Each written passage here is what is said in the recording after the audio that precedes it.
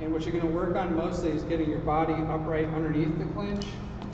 That helps to shut down some of the, um, so if he's grabbing my neck, just one for now. I don't want to stay in this position if I can.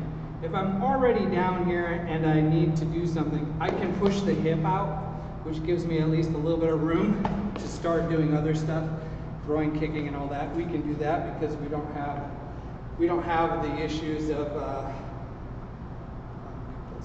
of uh, rules and all that. But generally speaking, what I want to do is I want, when he starts to pull, I want to drive under and get vertical with my spine.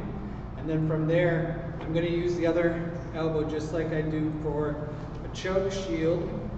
Same thing, I'm going to drive it up. Now I don't really care if he completely comes off because at this point I have control of the space. Um, we can still be fighting for space, of course, but I'm not so worried about his control over my head.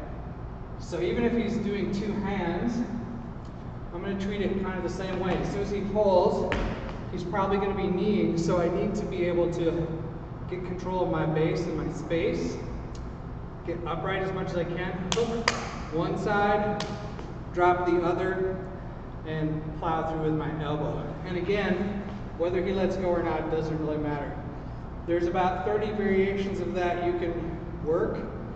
All of the solutions are basically the same. I'm not going to go through all of them because you can figure them out pretty quickly, pretty